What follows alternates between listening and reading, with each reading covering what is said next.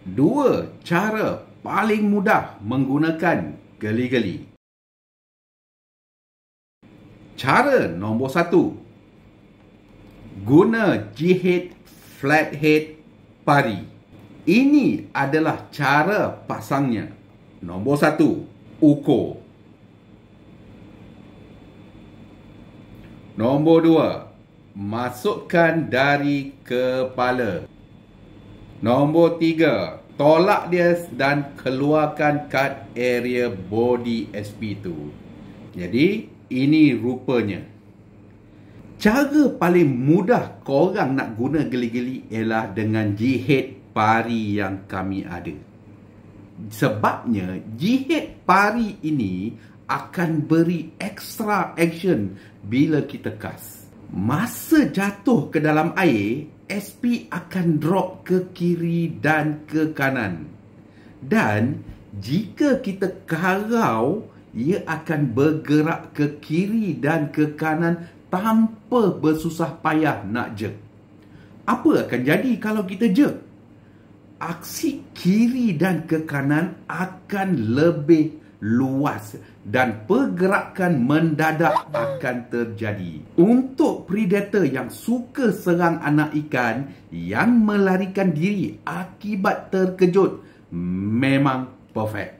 Cara nombor dua guna jihad kepala bulat. Cara pasang yang sama. Cara ini paling common pemancing guna sebab naluri mereka mengatakan ia mudah dan senang nak kat. Tidak dapat dinafikan. Aksi dalam air pula lebih pada up and down.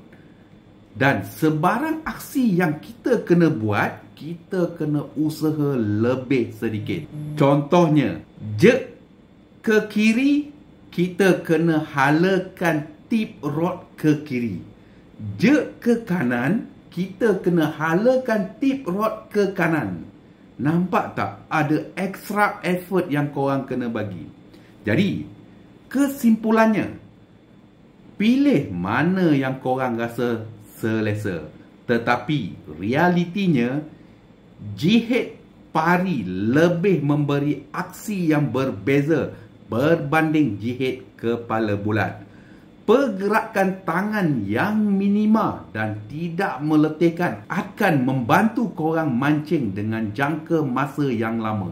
Malahan, pari dapat mengurangkan kepeningan korang dengan dilema aksi apakah yang perlu kita lakukan untuk strike ikan. Kerenti Strike, maka ingatlah geli-geli produk conditioning pembawa trend ultralight fishing dan specialist dalam soft plastic.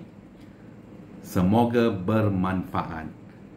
Anda suka dengan tips ini? Jika suka, jangan lupa like, share, komen dan save. Kita jumpa lagi dalam tips akan datang.